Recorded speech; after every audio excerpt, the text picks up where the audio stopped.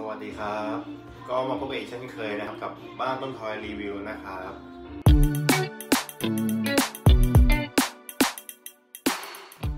วันนี้นะครับเราจะมารีวิวงานเลซิ่งกันนะครับ เป็นตัวลูฟี่นะครับนะในเรื่องในเรื่องวันพีชนะครับนะเป็นงาน1ต่อ6นะครับ เป็นงานของค่ายทริกไอสตูดิโอนะครับนะฮะก็ แพ็กเกจก็เดี๋ยวให้ดูนะว่าเป็นยังไงบ้างนะครับ เดี๋ยวเราจะเอามายืนเทียบกันระหว่าง1ต่อ6นะฮะกับ1ต่อ5 S งานจะเป็นยังไงครับความสูงแตกต่างแค่ไหนนะครับ โอเค เพื่อเป็นการไม่เสียเวลานะครับ เดี๋ยวเราจะเริ่มเอากล่องน้ำตาลให้ชมดูก่อนนะฮะนี่แพ็กเกจจะเป็นแบบนี้นะครับนี่เป็นงานมือหนึ่งนะครับ คือกล่องมันจะเป็นลักษณะนี้นะครับ เป็นลักษณะเตี้ยนะเป็นแบบนี้นะครับนี่เอากล่องไม่ได้ไม่ได้กลับสลับอีกแล้วอะอ่าเนี่ยจะเขียนว่ามังกี้ดีลูฟี่นะครับอ่ากล่องไม่ใหญ่มากครับ เป็นกล่องเล็กๆนะฮะแล้วก็ไม่สูงนะฮะประมาณนี้นะครับ แล้วก็ด้านข้างก็จะเป็นแบบนี้นะฮะแล้วก็ ที่สำคัญนะครับ ตัวนี้เขามีอันนี้มาบอกให้ด้วยนะครับ ก็คือ number นะฮะนี่เขาบอกรายละเอียดตรงนี้เลยนะเนี่ย number 218นะตัวนี้นะครับ แล้วก็เป็นหนึ่งต่อ6นะน้ำหนักก็บอกเรียบร้อยเลยนะตัวนี้น้ำหนักอยู่ที่4.5กิโลก็คือน้ำหนักโดยรวมนะครับ4.5กิโลนะฮะอ่าแล้วก็แพ็กเกจก็ยังจะมีตัวกันมุมนี้นะครับเห็นไหมมาให้ด้วยนะครับ ทั้ง4มุม4ด้านเลยนะครับ แล้วก็ด้านบนก็จะเป็นลักษณะนี้นี่คือชื่อค่ายนะครับนี่ที่เราให้ดูเมื่อกี้เนาะ Trick Eye Studio นะฮะดวงตาที่สามนะฮะอ่าอะไรประมาณนี้นะครับ โอเค มาทีนี้เดี๋ยวเราจะเริ่มมาแกะดูข้างในกันนะครับ ว่ากล่องสีเป็นยังไงบ้างนะครับ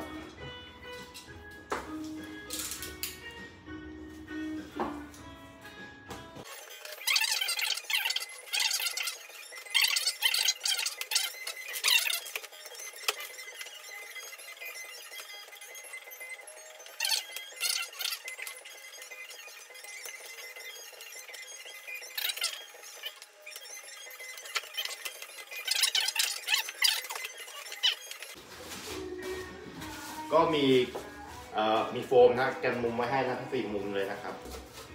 ถือว่าดีมากเลย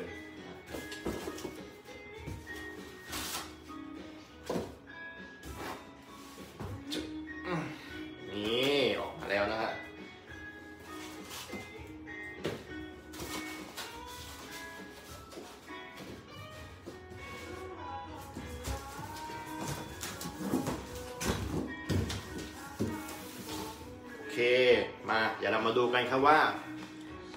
อ่ามีอะไรบ้างนะฮะก็ตรงนี้ก็จะเป็นชื่อของพระเอกของเรานะลูฟี่นั่นเองนะครับ ด้านข้างก็จะเป็นแบบนี้นะ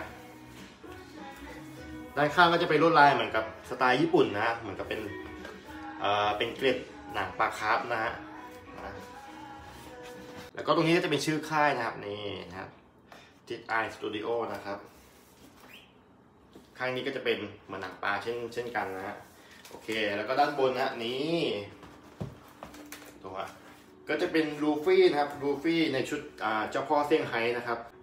อันนี้ก็จะเป็นเห็นไหมก็จะเป็นภาพวาดนะเป็นลูฟี่นะฮะใส่ชุดเจ้าพ่อนะเจ้าพ่อเซี่ยงไฮ้แล้วก็ถือหมวกนะ ก็ค่อนข้างเท่ทีเดียวเลยนะฮะนะอันเนี้ยค่ายเนี้ยเขาผลิตคอลเลคชันเนี้ยมาน่าจะเกือบเกือบสิบตัวนะฮะหรือไม่รู้ไม่รู้นะน่าจะ น่าจะเกินสิบตัวนะสิบกว่าตัวเลยนะฮะแก๊งลูฟี่นี่คือมีกันครบเลยนะครับนะนี่ราคา P อยู่ประมาณ ถ้าหนึ่งต่อหกนะ อยู่ไม่ถึงไม่ถึงหมื่นนะฮะประมาณเจ็ดพันกว่าเจ็ดพันปลายๆนะเจ็ดพันเก้าอ่าจนถึงแปดพันกว่าบาทอยู่แถวๆนี้นะไม่เกินนี้ราคา P นะ แต่ตอนนี้ไม่รู้นะว่าราคาไปถึงไหนแล้วนะครับนะฮะแต่ถ้าเป็นหนึ่งต่อสี่ก็เอ่อประมาณหมื่นหมื่นต้นๆนะฮะ โดยประมาณนะครับ โอเค ทีนี้เดี๋ยวเรามาดูข้างในกันดีกว่าสีสวยงามอืมโอ้แพ็กเกจโอเคนะ เป็นกล่องโฟมนะ สีสวยเลย เดี๋ยวขออนุญาตยกลงก่อน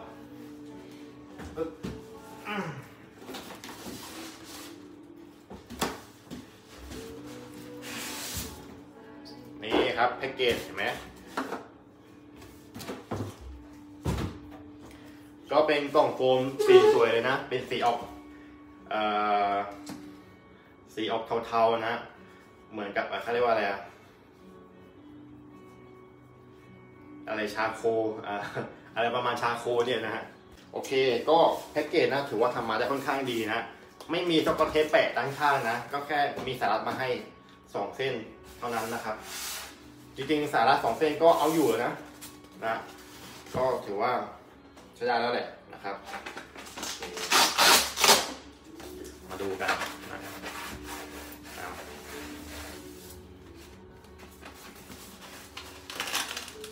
งานนี้นะครับ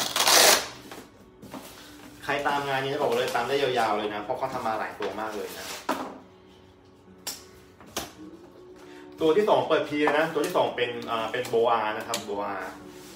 โบอาก็ดูท่าทางก็งานสวยอยู่นะ แต่เดี๋ยวเรามาดูงานจริงตัวนี้กันว่างานจริงนะ จะสวยแค่ไหนนะครับ ถ้าสวยนะ ทุกตัวนี่คือผ่านเลยนะ เล่นได้ยาวๆนะ แต่ถ้าไม่สวยก็ ก็คงจบแค่ตัวนี้นะนะครับ โอเค มาดูข้างในกัน เดี๋ยว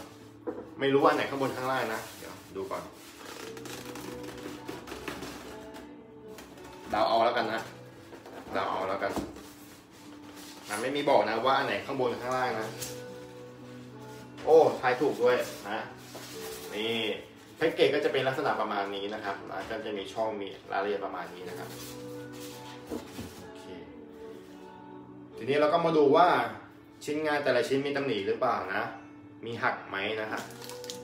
โอเคเดี๋ยวให้ดูแพ็กเกจนะ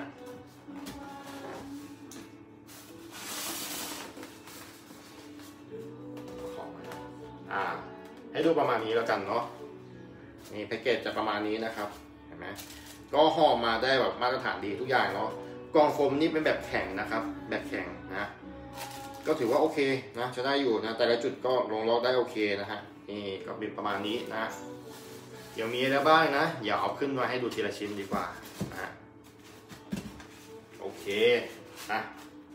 เอสยืนรอแป๊บนึงนะนะลูฟี่กำลังมาแล้วนะครับ เริ่มจากชิ้นแรกเลยนะ ที่เราเห็นเลยก็มีอันนี้นะ เป็นเข็มกลัดนะอ่าเป็นเข็มกลัดรูปลูฟี่นะชุดอ่าชุดนี้เลยชุดเจ้าพ่อนะครับนะเข็มกลัดขนาดใหญ่นะครับ ก็เกือบขนาดก็ประมาณนี้นะประมาณนี้ประมาณนี้โอเคนี่คือชิ้นแรกนะครับ ชิ้นที่สองนะครับโห เป็นป้ายรันนัมเบอร์นะของเพจนะครับของเพจนะ ตัวนี้ผลิตมาทั้งหมดนะครับ 598 ตัวนะ ตัวนี้เป็นตัวที่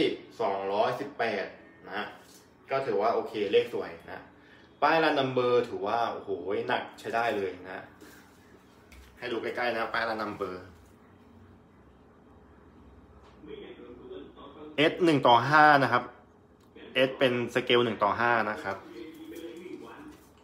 ลูฟี่ที่เรากำลังจะไลฟ์ตอนนี้ก็คือสเกลหนึ่งต่อหกนะ ตัวก็จะเล็กกว่า S อยู่แล้วแน่นอน ในเรื่องก็เล็กกว่า ตัวตัวตัวเตี้ยกว่านะแล้วมาอันนี้ก็ต้องเล็กกว่าแน่นอนนะโอเคทีนี้ก็มาดูชิ้นแรกเลยนะครับ ชิ้นแรกก็คือฐานนั่นเองนะครับแพ็กเกจเขาห่อกระดาษสาได้ค่อนข้างดีนะ เออออกเลยเราไปแบบสบายๆเรื่อยๆเนาะวันนี้นะฮะไม่รีบนะครับ โอเค ชิ้นแรกของเราก็คือฐานนั่นเองนะ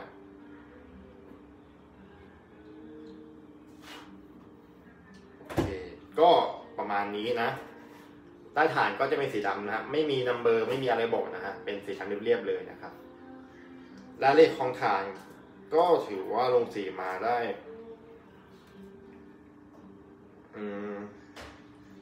ส่วนตัวนะครับ ลงเข้าลงสีมาแบบ ดูดูจืดไปนิดนึงนะ สีไม่ค่อยสดเท่าไหร่นะครับ ดูจืดไปนิดนึงนะฐานก็ดูแบบ ดูเรียบๆพื้นๆนะฮะไม่ได้แบบว่า ไม่ได้แบบลงสีแบบดูละเอียดดีแบบดีเทลแบบดีมากนะไม่ไม่ถึงขนาดนั้นนะครับ ถือว่าเรียบๆนะฮะชิ้นแรกของเราขออนุญาตเอากล่องนี้ออกลงก่อนแล้วกันนะเราจะได้เห็นตัวงานแบบง่ายๆนะครับตัดลงไปก่อนโอเคโอเคไม่เอาไม่เทียบอ่าชิ้นแรกนะก็คือฐานนี้ ก็ขนาดฐานน้ำหนักก็น่าจะประมาณโลกว่าถึงสองโลนะครับเราจะประมาณโลนึงได้แหละนะหนักอยู่ ฐานก็ถ้าเกิดเทียบกับฐาน F นะ ฐานนี้เล็กกว่าเยอะเลยนะครับนะนะเล็กกว่าเยอะเลยนะรายละเอียดประมาณนี้เนาะโอเคชิ้นต่อไปครับ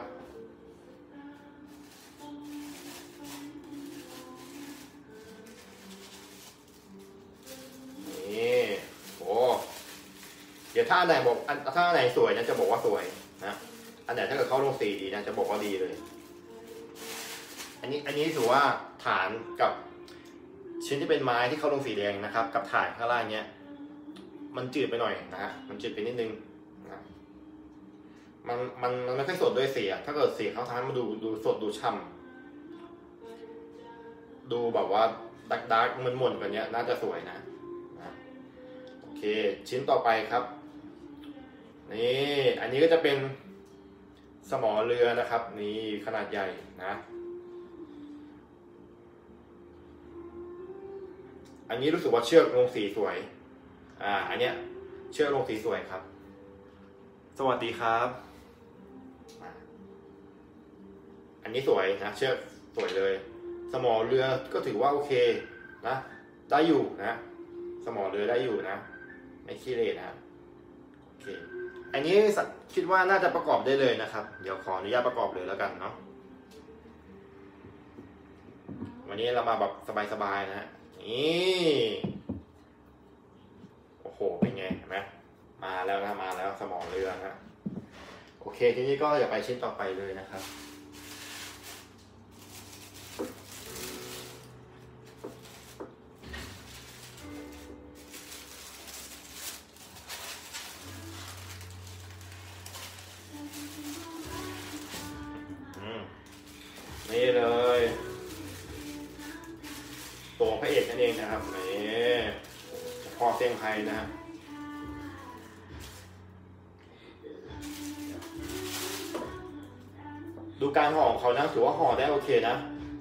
เซฟหลายจุดเลยนะ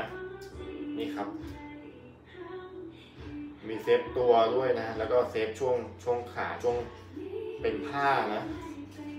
โหอันนี้ลงสีถือว่าโอเคเลยสวยเลยอันนี้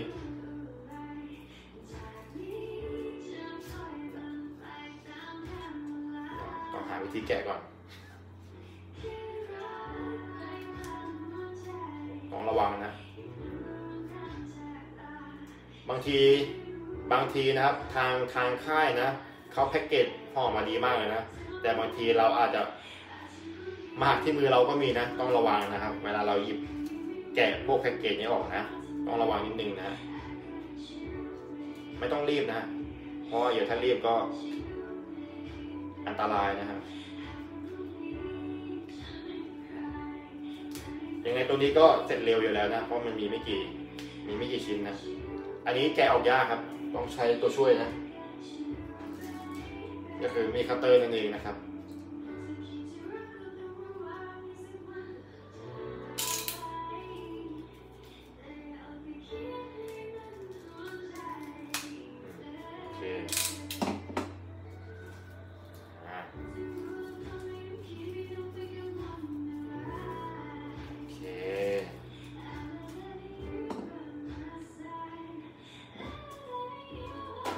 ตัวนี้รู้สึกว่าถ้าเกิดที่ต้องระวังนะ ก็คือเป็นผ้าผ้าที่คล้องคอลูฟี่อะต้องระวังนิดนึงนะเพราะว่ามันบางนะ แต่ก็โอกาสที่มันจะหักน่าจะยากนะโอ้โหลงสีถือว่าสวยครับ เริ่มจากรองเท้านะรองเท้านี่เหมือนเหมือนเลยเหมือนจริงนะรองเท้าเหมือนจริงสวยมากรายละเอียดของกางเกงนะถือว่าสวยครับ สวยเลย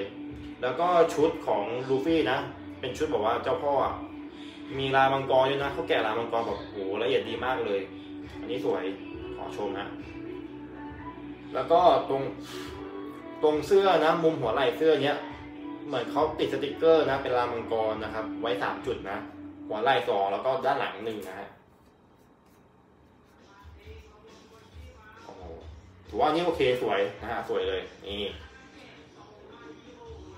นี่ครับ เห็นไหมเดี๋ยวถ้าไม่เห็นเดี๋ยวให้ดูใกล้ๆครับ ให้ดูตั้งแต่รองเท้าเลยนะฮะนี่อันนี้ถือว่าสวยนะครับ สวยเลย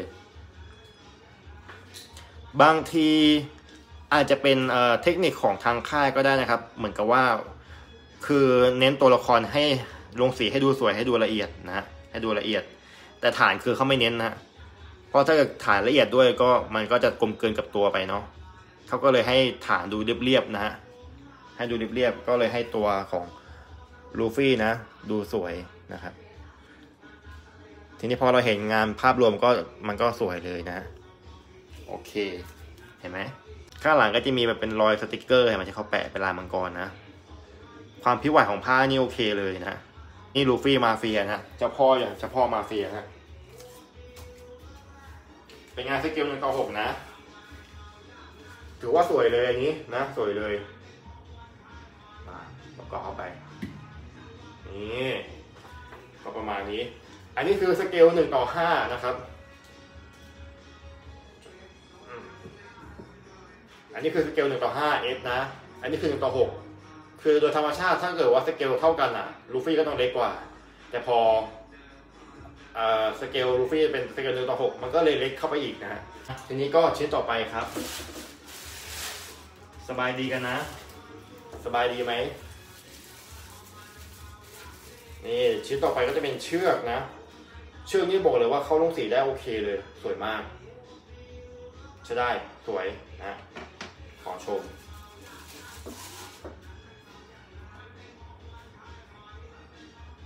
ขออนุญาตประกอบเลยแล้วกันเนาะ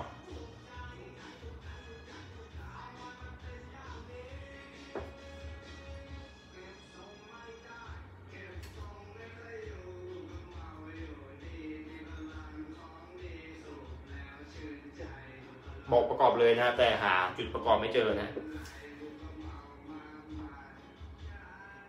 ไม่เป็นไรวางไว้ก่อน หาไม่เจอครับ โอเคครับชิ้นต่อไปครับ เหมือนว่าเหมือนว่างานตัวนี้ลูฟี่จะมีหัวเปลี่ยนนะครับ ให้ทั้งหมดด้วยกันสองหัวนะครับสองหัว หัวยิ้มกับหัวไม่ยิ้มนะ อ่า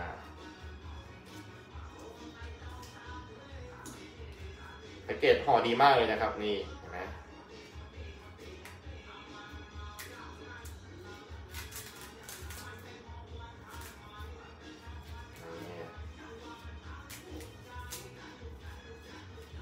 โอ้ห่อดีมากเลยนะ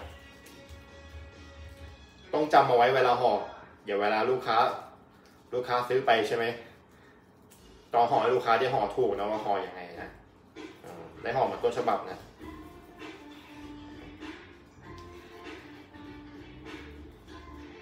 มันห่อดีมากเลยนะ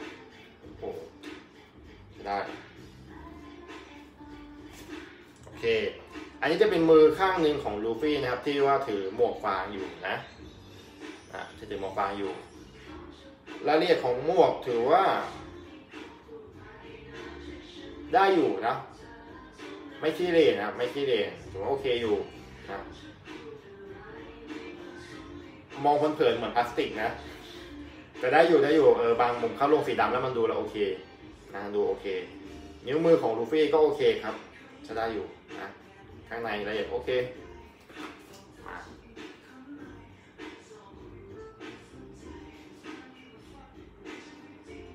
ใช่ปะถือนี้ไหมโอเคใช่ โอเคครับ ไปชิ้นต่อไปครับ อ๋อ ตัวนี้นะครับมีหัวเปลี่ยน 2 หัวนะ แล้วก็ที่สำคัญเลยก็มีมือเปลี่ยน 2 มือเช่นกันนะ มือข้างหนึ่งข้างแรกถือหมวกฟาง แล้วก็มือเปลี่ยกข้างนึงก็เป็นถือหมวกหมวกเจ้าพ่อนะครับ เท่เลยเห็นไหมถือว่าโอเคนะ อันนี้เป็นหมวกเจ้าพ่อนะเดี๋ยวแกะให้ดู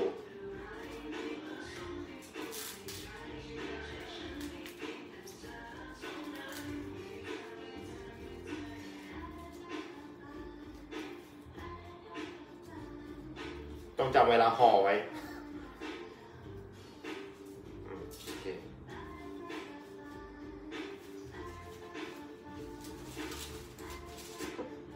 นี่ครับ อันนี้ก็เป็นหมวกมาเฟียนะครับ ที่บอกไปเมื่อกี้เนาะ ก็สามารถเปลี่ยนได้นะ ถ้าเอาจริงๆนะ ลูฟี่อะใส่ชุดนี้แล้วอะ มันต้องถือหมวกนี้นะครับ ต้องถือหมวกนี้ ถ้าถือหมวกหมวกฟางอะ มันไม่เข้านะ ถึงมันจะเป็นเอกลักษณ์ของลูฟี่ก็จริงแต่มันไม่เข้านะหมวกนี้เข้ากว่าหมวกนี้รายละเอียดก็ถือว่าโอเคนะใช้ได้อยู่นะครับอะเดี๋ยวเปลี่ยนหมวกหมวกนี้มาไม่เข้านะ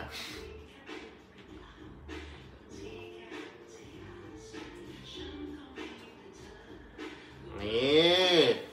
เห็นไหมโอ้โหมันมาเลยไหมมันได้เลยใช่ไหมทีนี้ก็จะเหลือหัวเปลี่ยนนะครับ สองหัวเท่านั้นนะฮะนะ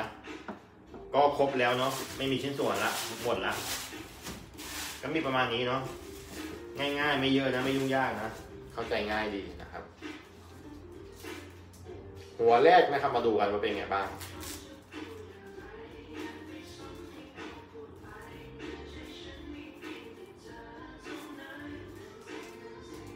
โอ้ หน้าใช้ได้อยู่นะ หน้าหล่อเลยนะไอตัวเนี้ยต้องบอกก่อนว่าก่อนหน้านี้นะครับ ก่อนหน้านี้เคยมีประเด็นนะฮะเคยมีเคยมีบางคนนะ บางบางท่านนะครับบางท่าน บอกว่าลูฟี่ตัวเนี้ยหน้าโครงหน้าแบบไปทางผู้หญิงนะ เหมือนผู้หญิง หน้าหวานอะไรประมาณเนี้ยแต่พอเราดูของจริงแล้วก็ ถ้าถ้าเกิดว่าแต่งหน้าดูเป็นผู้หญิงมันก็เป็นได้นะคงหน้าเขาหวานนะ แต่โอเค เพราะว่าเอกลักษณ์มันยังมองดูเป็นลูฟี่อยู่นะลูฟี่หน้าหล่อเออหน้าหล่อใช้ได้เลย อย่าให้ดูสองหัวพร้อมกันนะวางแบบนี้ไว้ก่อน ให้ดูประมาณนี้ก่อน น่าจะเห็นไม่ค่อยชัดเนาะเดี๋ยวให้ดูใกล้ๆครับ วางไว้ก่อนโอเคหน้าหวานหน้าหวานหน้าหล่อนะ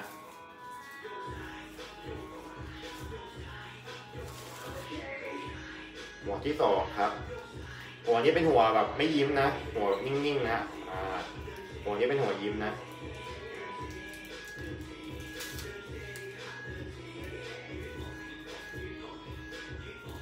ขอบคุณหนึ่งไลค์นะครับ เราก็จะไลฟ์อยู่เรื่อยๆนะ ไลฟ์ไปเรื่อยๆนะ มีงานไหนมาเรื่อยๆเราก็ไลฟ์เรื่อยๆนะ ไลฟ์ให้เพื่อนๆได้ชมกันนะ ได้เห็นงานจริงนะว่าเป็นยังไงนะแต่ละงานเนาะ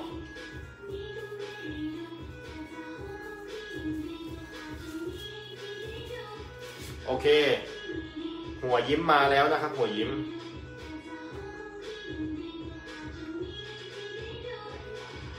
อืมเขาลงสีสวยนะ โครงหน้าอะไรโอเคเลย ถือว่าสวยครับผ่านผ่านใช้ได้เลยนะ ดูแล้วโอเคอะ มาทีนี้อยากให้ชมกันดีกว่าเนาะว่าหัวลูฟี่เป็นไงบ้างนะครับ นี่ อันนี้คือ หน้าที่ไม่ได้ยิ้มนะฮะเห็นไหมนี่หน้าไม่ยิ้มจะเป็นลักษณะประมาณนี้นะครับ อันนี้คือหน้ายิ้มเห็นไหมถือว่าโอเคนะเขาทำมาได้ค่อนข้างดีนะงานสวยครับ งานสวยเลยเห็นไหมเห็นไหม เดี๋ยวเราจะใส่หน้าหน้าม่ยิ้มให้ดูก่อน นี่ เป็นไงบ้างครับ หน้าม่ยิ้ม ได้นะ ดูเท่เลยนะ ก็พอมายืนเทียบกับ S สเกลหนึ่งต่อห้านะ ก็ มันก็เล็ก มันก็แบ่งใจมันเล็กเลยแหละเนาะจะถามว่าเล็กขนาดนี้ดูเหมือนในการ์ตูนไหม มันก็ได้นะ มันก็ใกล้เคียงอยู่นะ แต่ แต่สเกลถ้าให้ดีให้สเกลเดียวกันดีกว่านะ ก็คือหนึ่งต่อห้าหนึ่งต่อห้าเหมือนกันจะดีกว่าหนึ่งต่อหกก็หนึ่งต่อหกเหมือนกันจะดีกว่า เพราะว่าอันเนี้ย Ace body ล่างมันใหญ่นะหนึ่งต่อห้าล่างมันใหญ่ มันใหญ่กว่าไปนิดนึงนะฮะชิ้นนี้ก็ยังไม่รู้นะว่าไปประกอบยังไงนะ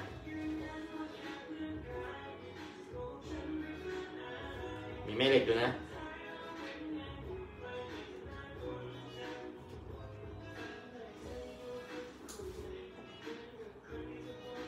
ทีนี้อย่าเรามาดูกันนะฮะรอบๆนะครับว่าเป็นยังไงบ้าง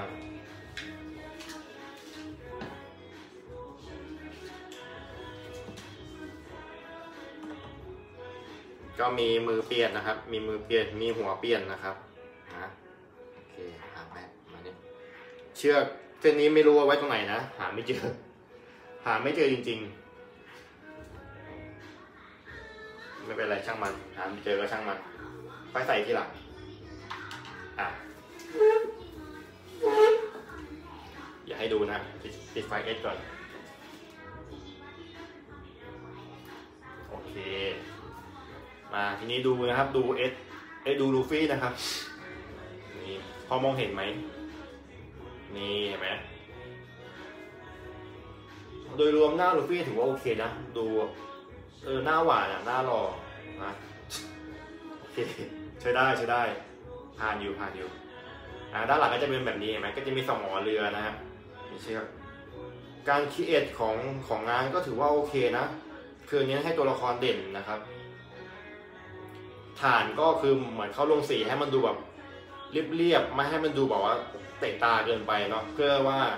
เพื่อว่าให้ให้ตัวงานมันดูเด่น ตัวละครดูเด่นนะให้มันขัดให้ให้งานมันดูสะดุดตานะเพราะถ้าฐานดูเงาดูดูสวยใช่ไหม มันก็ดูกลมเกินเกินไปเนาะอันนี้มันก็เลยเห็นมันก็เลยดูฉีกๆนิดนึงก็เลยแบบมองแล้วรู้สึกก็โอเคนะ นี่นะ ระวังหมุนก็หาข้อต่อไปด้วย หาไม่เจอต่อตรงไหน โดยรวมส่วนตัวนะตัวนี้ให้กี่คะแนนนะครับ เริ่มจากแพ็กเกจนะแพ็กเกจถือว่าโอเคนะเซฟดีแล้วก็มีรันนัมเบอร์ให้เรียบร้อยเลยนะครับ ตัวนี้นะครับ กล่องสีก็ดีไซน์มาสวยนะฮะ กล่องโฟมก็ทำมาได้ดีนะ ดีเลย แล้วก็ตัวงานรายละเอียดตัวงานถือว่าโอเค ถ้าให้มาตรฐานในราคาเลทประมาณนี้นะครับ กับงานประมาณเนี้ยก็ให้ประมาณสัก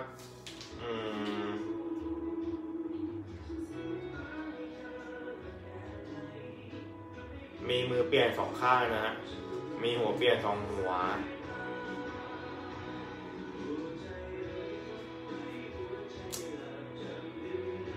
ท่าไหร่ดีสัก 8.5 แล้วกันครับนะ ให้ประมาณสัก8.5 คะแนนนะ ของงานตัวนี้เนาะนะจุดเด่นของงานนี้นะ บอกเลยว่าคือชุดครับ ชุดของลูฟี่นะ ดูดีมากนะครับ โดยเฉพาะตรงลวดลายตรงเสื้อสีขาวเนี้ยลายมังกรเนี้ยสวยมากนะ ผ่านเลยจุดเด่นคือชุดเลยนะ แล้วก็อย่างที่สองก็คือหน้าของลูฟี่นะ หน้าหล่อเลยนะครับ ใช้ได้เลยนะโดยรวมถือว่าโอเคนะฮะเดี๋ยวเรามาวัดกันว่าตัวนี้สูงเท่าไหร่นะ แต่น้ำหนักน่าจะประมาณ 3 โลกว่าตัวนี้นะ3โลกว่า ไม่หนักมากครับ มาจะวัดความสูงให้ชมกัน อีกอย่างหนึ่งสงสัยว่าทำไมป้ายรันนัมเบอร์เขามีมาให้นะ แต่ทำไมเขาไม่มี ไม่มีขาตั้งป้ายมาให้นะครับ ถ้ามีขาตั้งป้ายมาที่จะโอเคเลยนะ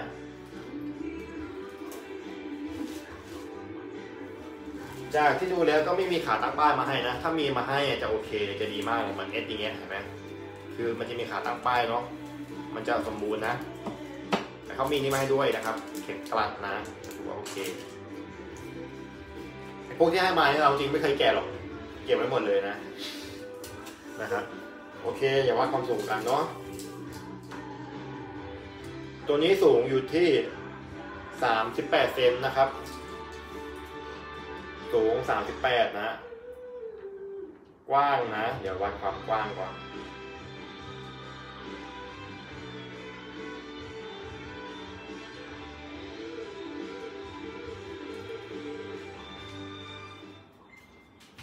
ตัวนี้กว้างประมาณ 21 เซนนะครับ กว้าง 21 เซนนะครับ แล้วก็ลึกนะครับ ลึก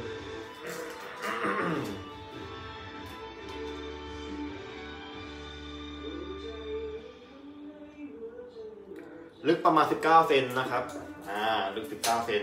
ก็ประมาณนี้เนาะ เป็นยังไงบ้างครับนะ ช่วงนี้ก็ไม่ค่อยได้เห็นหน้าเห็นตากันเลยเนาะ ก็จะพยายามนะครับ ไม่ให้บอกว่า ไลฟ์ห่างหายไปนานเนาะ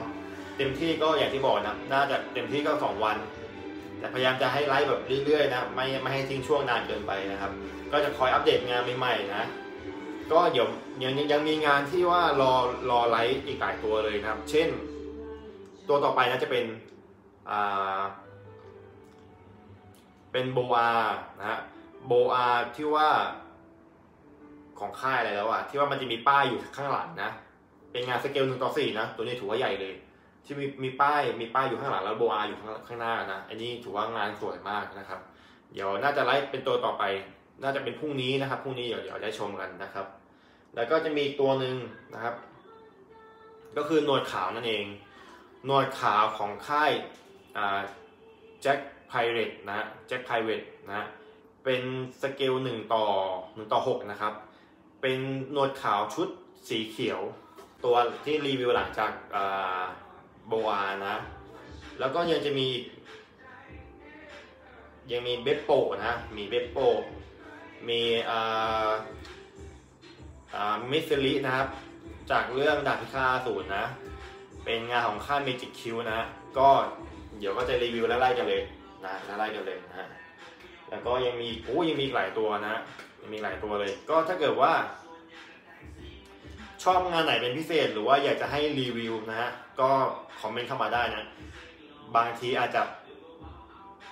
เอาใจนะ เอาใจแฟนๆนะ ไปตามหามาให้นะ ไปตามหามาให้แล้วก็เอามารีวิวให้ชมกันนะครับนะตอนนี้ก็ขอฝากนะ ขอฝากช่อง YouTube นะ YouTube Channel นะครับ ชื่อบ้านต้นทอยนะฮะ ไปติดตามกันได้นะครับ ก็เนี่ยฮะ ก็จะตัดต่อรีวิวพวกงานโมเดลงานเรซินฟิกเกอร์พวกนี้นะครับนะ ตัดต่อจากสไตล์ของเราเองนะ แล้วก็ ไลฟ์สดเราก็เอาไปตัดต่อเหมือนกันนะ เอาไปให้ดูในช่อง YouTube นะฮะอย่างก็ฝากติดตามผลงานได้นะครับ โอเคครับก็ประมาณนี้นะครับยังไงก็ขอบคุณเพื่อนๆนะครับ ขอบขอบคุณอีกครั้งนะครับ ที่เข้ามารับชมนะครับ ก็ยังไงก็ฝากผลงานไว้ด้วยนะครับนะฮะ